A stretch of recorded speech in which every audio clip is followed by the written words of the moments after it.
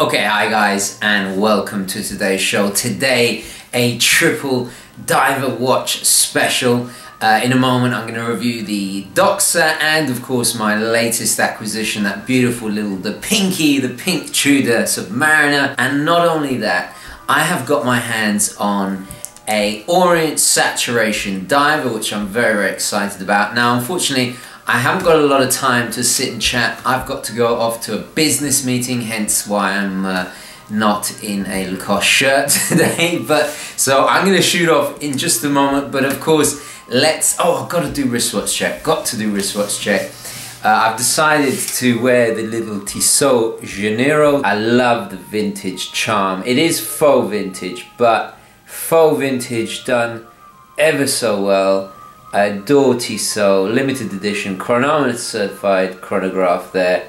Uh, very, very 1930s style with that, ah, just, just gorgeous. Anyway, so wristwatch check done. Let's roll the intro and get into today's video.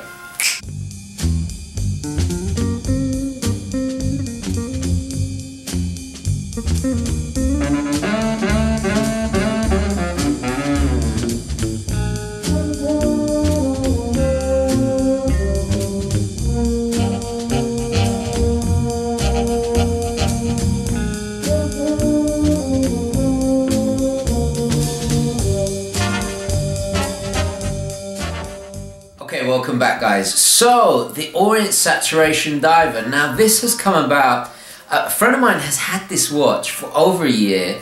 It's been sitting in a drawer, hasn't been used. I mean, it's pristine condition. For some reason, he took it off the uh, the bracelet. He doesn't know what he's done with the bracelet, so, that, so he gave it to me. He said, you know, review it, uh, set, you know, he's going to sell it, so I will be selling this particular piece. Um, but I, he thought, well, I might as well review it first.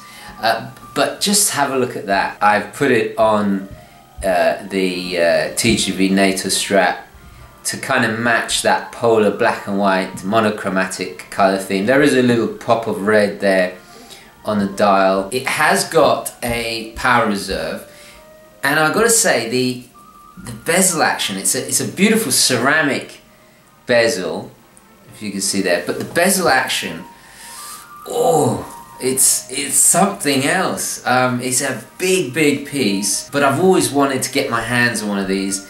Um, it's obviously too big for me, but it's very fun all the same, just to have a look at. I'm sure you guys will enjoy me reviewing it. Uh, and then after I've done the review, my, my, uh, my friend has entrusted me to sell it. So hopefully a viewer of the show will uh, be able to um, give it the, the use uh, it deserves. Off the bat, I can certainly say it's a step up from your ordinary Orients. I know next to nothing about this watch, so it's going to be really fun learning about it. But wow, look at look how thick it is. But the quality, oh my god, that bezel. That bezel. And the lume is already bright even in this well-lit room. So I'm very, very excited about that. Oh, that action to it. Oh, I can't wait to to review that. So, guys, stay tuned for the full review of this. Very, very excited. So, guys, stay tuned. Anyway, um, without further ado, let's change perspectives and have a closer look at the Doxa and, of course, my little darling uh, Rolex. No, not Rolex. it's horological Freudian slip there. The Tudor, the Tudor Submariner, the Pinky. Uh, so let's go ahead and do that. Today we are reviewing not just one uh, automatic Swiss made diver but two. And I basically decided to do them together because it just demonstrates the incredible variety you can get with what is essentially the same movement. So on the left we have a Doxa Sub 750T uh, limited edition, the Caribbean Sea Hunter, and the Caribbean refers to the color of that dial, that very striking blue, beautiful blue uh, dial. This is limited to 250 pieces. This is actually number 84 out of 250. Uh, lent in by my good friend Wayne. So big shout out to my good friend Wayne there. And then on the right, we have uh, my personal latest acquisition. This is the Tudor Submariner. This is the mid-size version. This is the reference 75190. From my research, this is from about 1998. Uh, now, as I said, they are both essentially two Swiss-made automatics, both in stainless steel, as you can see, and they both have the same ETA, the 2824-2, but it's just so amazing how differently this movement has been utilized by these two incredible brands. And these two brands are both equally uh, renowned for their divers. We all, we all know and love um, Tudor, who's featured heavily on my channel. I'm a big, big Tudor fan, as you guys know. And Doxa is equally renowned for their divers. In fact, actually, they only do divers. So let's start with looking at the, the Doxa because it really is a fascinating brand. Now, Wayne was kind enough to forward me a beautiful book. I've, I've been meaning to feature Doxa on the channel for a long, long time. Um, their divers are fairly legendary amongst professional divers.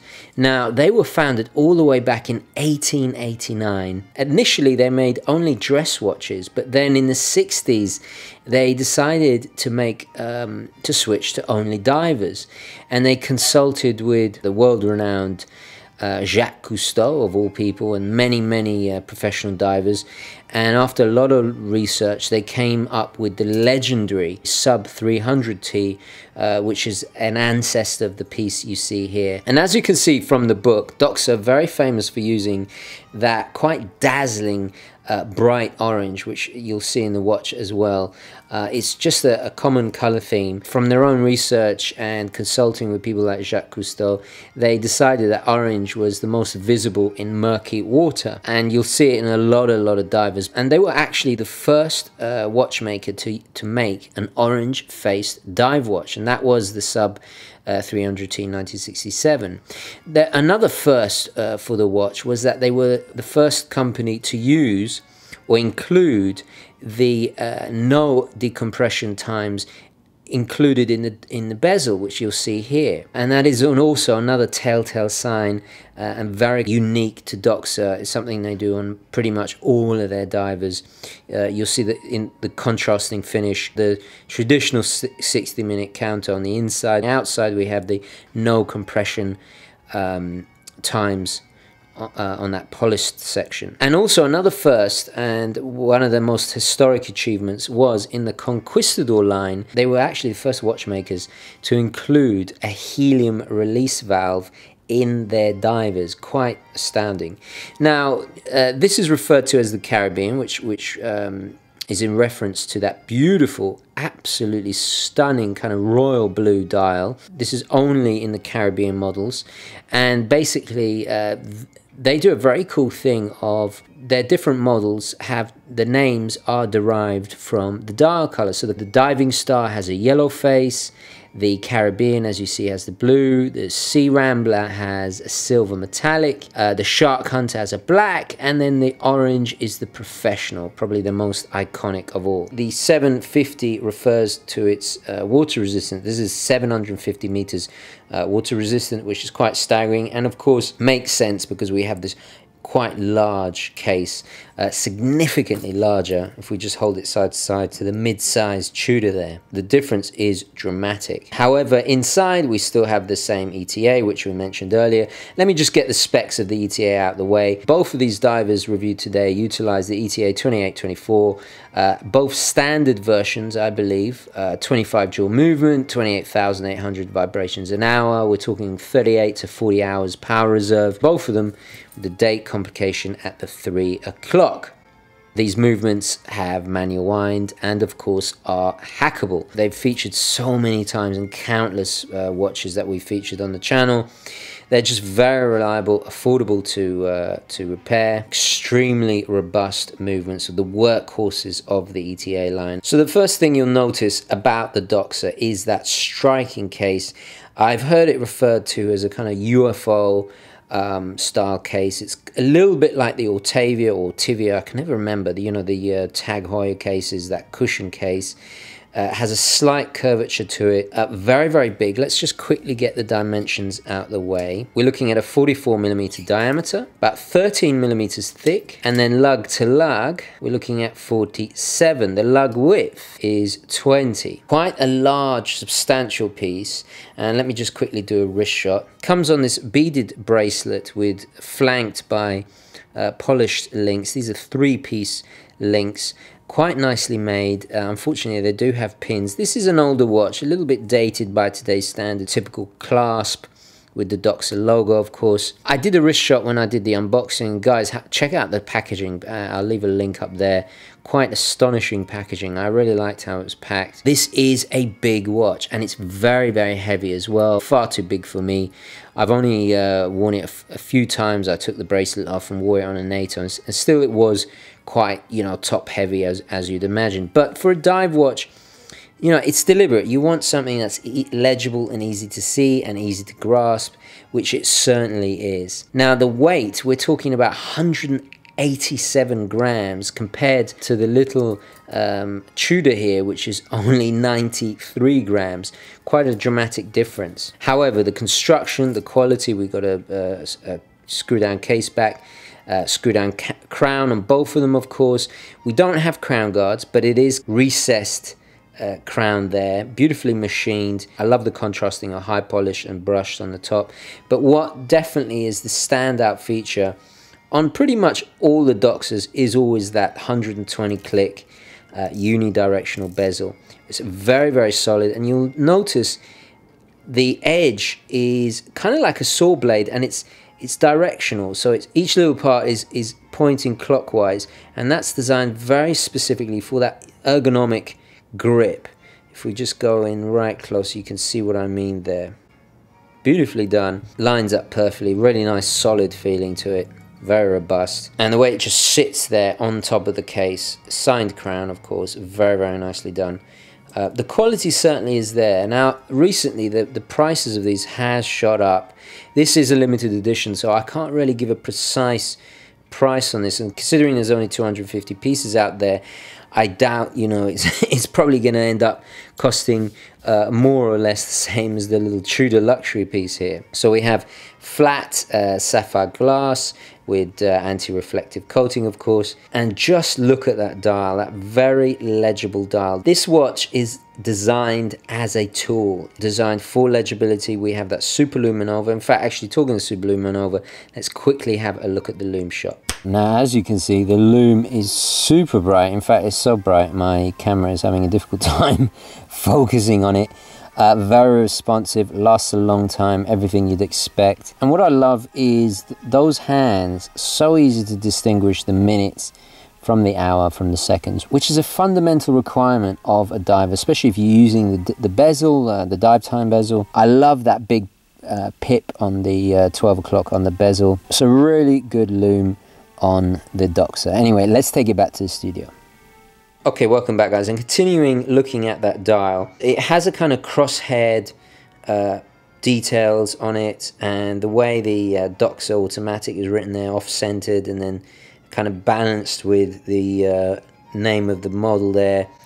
The date at 3 o'clock mirrored by that indices there. I love the hands. These are referred to dwarf hands. I'm not sure exactly why they're called dwarf hands, but they have this very 70s boxed um, style to them. I love how the uh, lettering on the uh, no compression times matches the hands there. Beautiful but subtle touch. We have the Doxa logo on the back, beautifully uh, engraved. There is a diver extension as well, which is nice. Very, very dated by today's standard with a little bit of micro adjustment there. It needs to be bashed up. It needs to be scratched. It needs to be used. This is a watch made designed for divers. I'm not saying the Tudor isn't, but the Tudor is a completely different animal. It's quite staggering how different they really are. But it's really fascinating to see how uh, a, a use for a watch is interpreted by two brands in such a dramatically different way. So let's have a look at the Tudor now, which uh, you couldn't get more of a different diver. It's, it's quite staggering. This is the reference 75190. This is from about 1998. Uh, this is a used piece I bought uh, recently. And of course, we have that salmon pink dial. So again, we have stainless steel, but dramatically different in size. Actually, let's quickly get the dimensions while we're talking about size. Looking at 36 millimeters in diameter, has a beautiful thickness of only 10, just over 10 millimeters. Lug to lug, we're looking at 42, and then the lug width is 18. So once again, if you want to see the, the packaging in the box, have a look at the unboxing. I'll leave a link up there. So we've mentioned the movement, uh, which is pretty standard for the Tudor. Tudor, as you guys know, is a sister brand of Rolex. The history of the Submariner runs parallel pretty much to the Rolex Submariner. The first Tudor Submariner was released all the way back in 1954. In fact, actually, the Tudor website, the official Tudor website, has a really cool page dedicated uh, to the history of the Tudor Submariner, and it's quite a prestigious line of divers in itself. Uh, they were issued to many militaries over the years, especially during the 60s, I believe. And then, of course, in the 60s, the uh, Snowflake was born. But then in the 90s, with the release of the 79190 reference, we saw a return to the Mercedes hands and these triangular markers, as you see here.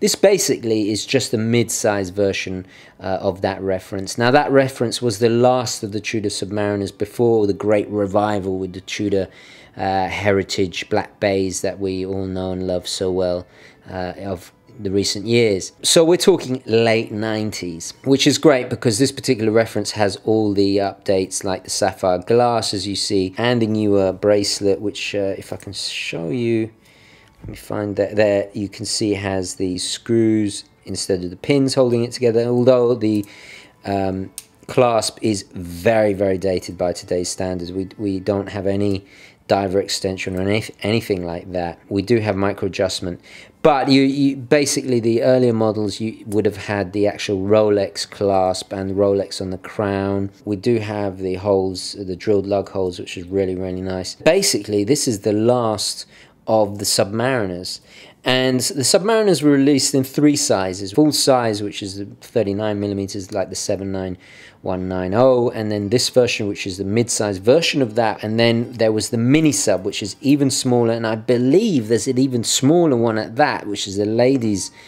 I think the mini sub is about 33, and then I, I, I'm I'm not sure, but I think this is like a, a ladies' 20 something uh, millimeter one as well but I'm not not sure about that. But what I love about this particular version is that stainless steel uh, insert instead of the aluminium insert on the bezel. The only downside is as you can see there's it does attract little kind of scratches and dents it reminds me of the Yachtmaster, which, as you guys know, I re reviewed a Yachtmaster not too long ago and I was really, really impressed with it. So we have a 120 click bezel, which has a, quite a refined feeling. It does remind me a little bit of the uh, Rolex Submariner. Funny enough, this bezel, the action to it, is executed better than the bezels on the new Black uh, Heritage Black Bay, which is quite surprising. So we have the Oyster case, uh, stainless steel with uh, polished on the sides, brushed on the top, and this uh, style is repeated. It's not quite a Jubilee, it's Jubilee-esque, but actually I've got to say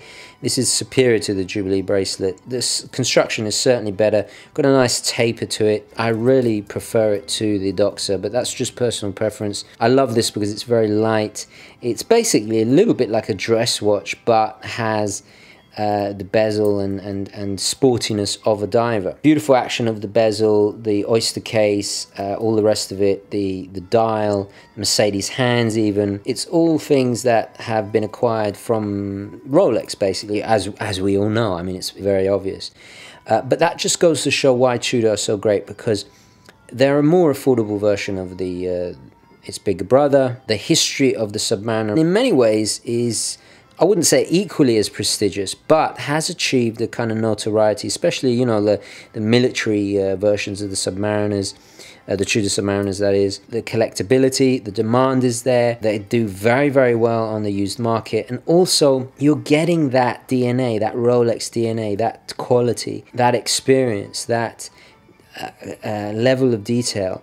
And from what I understand, even the hour markers are actually uh, white gold uh, similar to the Submariners, of course. And just look at that dial, that beautiful salmon pink.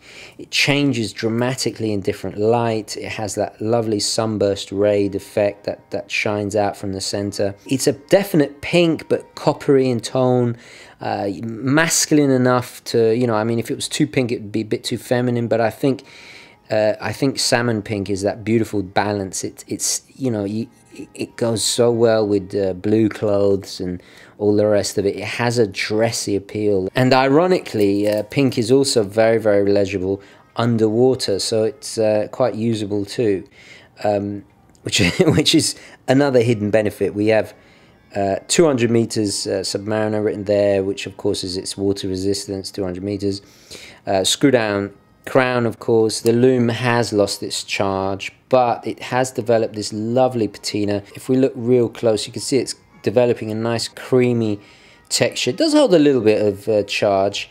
Um, there is lume in the pip as well. And of course we have the Cyclops with the date at the 3 o'clock. Although it is the same movement as the Doxa, when we unscrew the screw down crown and we wind it, it does feel more refined. So I, I don't know what Tudor have done to this. There is a definite step up in quality compared to the Doxa, but that's to be expected because we have that uh, Rolex uh, learnt mastery of, of, of watchmaking um, inherent in the Tudor brand, obviously. I really am a fan of this bracelet. It's very, very comfortable. In fact, let's quickly do a wrist shot. But as you can see, on my tiny little wrist, it fits perfectly. If actually, it's a little bit tight for this side, um, because this wrist is a little bit thicker than this one. Uh, but interestingly enough, I also have wearing the uh, the mid-size Seiko SKX there, another diver, and you can see that the size is very similar. But what is nice is this is the slenderness of this watch. That slight curve to the case hugs the wrist. It wears like a dress watch. It's light and comfortable. And you know what? I think because of that uh, salmon pink dial, I think it'd be marvellous to wear with a suit. I know it's a faux pas, but I really do think it's a dressy little number. And it's a dial colour that I never imagined in a million years I'd uh, grow to love so much. In fact, I, am enjoying it so much, I'm considering a um, a Datejust with with the salmon pink dial. It's just so fun. I'm, why more watches and not, don't have salmon pink dials? I just don't understand. But very very cool indeed. Loving it. Whether it will be stay, it will go. I have no idea. But I just had to get it in, experience it, review it because. You know, the Tudor Submariners, there, there is a discontinued model. Obviously, this limited edition from Doxa is also uh, discontinued. So two watches that I, I, definitely can see going up in value. Uh, the Tudor probably a little bit more just because of the increasing demand for them. The mid-size uh, isn't as uh, lusted after as the full-size 39 millimeters one. Having said that, um, I think, you know, with smaller sizes definitely coming more in vogue, uh, especially in New York and, and, and you know, uh, kind of quite fashionable places. That trend, I think, will permeate outwards, and more people will, will start to enjoy smaller watches. What a what a pair! What an incredible two divers. I don't think I could wear the mini sub. I think 33 millimeters is just too small, even for my standards. If you've got smaller wrist, I would, and you're considering a even a Rolex Submariner, have a look at the uh, mid-sized Tudors.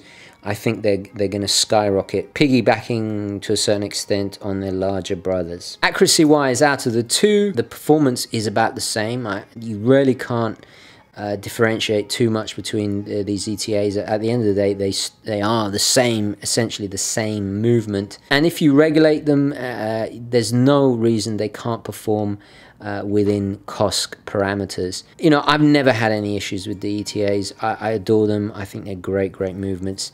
Um, so accuracy-wise, they're pretty much the same. Anyway, guys, I'm going to leave it there. Uh, let's take it back to the studio. So I thought I would just end the video with a brief summary of the pros and cons. So the Doxa, well, let's start with the positives. First of all, there's no doubt that they have an incredible history to them. Their design is unique, bold, uh, it's a diving icon to a certain extent. Not the most recognizable, but certainly it has its own character, and I really respect that. It's extremely well made, it's extremely robust, It is something built for task, and those are definitely all the positives of the Doxa. And lastly, it's the product of decades of um, tweaking, of improvements, and you can feel that with the watch. The negatives, well, obviously it has that Marmite effect. If you're into tooly, really tool divers, masculine, bold divers like that, you're gonna love it. If you're not into it, obviously it's gonna have that Marmite effect. Uh, probably I, I predict more than, than other watches. Also, it's big and therefore it's clumsy. It's not the lightest of watches, it's not the most comfortable thing in the world, and I could imagine. I mean, I, I didn't really wear it for that long, but I can imagine after a while it might get a bit tedious, especially if you're not used to wearing something that big. That stamped clasp and diver extension, very, very dated by today's standard. The ETA, its price, is it really justified? I know this is a an argument or discussion that's been going on for, for years. Is it worth paying that much for an ETA, uh, for an ETA? I mean, and the same could be said about the Tudor. So let's summarize the Tudor now. Let's look at its positives. Well, obviously we get that Rolex style, that Rolex quality, that Rolex feel to a certain extent, especially with that bezel. It's super cool and unique with that pink. It's not your typical uh, diver watch dial color. And I gotta say I've been converted. I, I, am looking at more dials more pink dials now because I honestly think it's hugely underrated. Why aren't there more watches with pink dials? I really love that dial color. It's stylish it's elegant it's got a bit of pizzazz without being gaudy or you know it, it's, it's in good taste let's say. It's in good taste. Also you're kind of getting a little bit of that Yachtmaster feel but without paying the Yachtmaster prices, which is always a good thing, right? Biggest uh, plus of the of the Tudor Submariner has got to be its collectability. It's a watch that is in demand. Sure, this is the mid-size version, not as popular as the full size, but I, I can't see why it's not gonna uh, become just as collectible and just as lusted after as the full size. Uh, and guys, never be afraid of the mid sizes. I know the kind of mainstream pop culture appeal is more to the larger sizes, but honestly, it's relative to you. If you've got the larger wrist, obviously it's going to be too small for you, but if you have a smaller wrist, the size has got to be relative to you. So its minuses, well, that kind of leads into its main minus. It's probably too small for a lot of guys, and I can totally understand that. Also, its clasp very very dated. It's a shame they updated the the sapphire glass. The bracelet is great with the screwed links and all the rest of it. Uh, but why didn't they put put a fold over in there or it just would have propelled it to, to that next? It would have been almost perfect. Really would have. And lastly the same issue with the doxa. It is at the end of the day an ETA and the same old question is it worth paying that much money for an ETA movement? And I know we're going to be discussing this to the end of time. Um, personally, you know, I, I think it is. Uh, because you're paying for the luxury quality in other departments and I love the ETA, it's affordable and all the rest of it but there are kind of negatives, you, you do kind of expect something a little bit better for that kind of money. That's pretty much the summary for both watches. Let me know your thoughts, queries, opinions, questions, all the rest of it down in the comments below. Thank you very, very much for watching. Please don't forget to like this video if you enjoyed it and found it useful. Now, please excuse me, guys. I'm going to dash off. But of course, hopefully, you will catch me in the next one. Okay, guys. Ciao.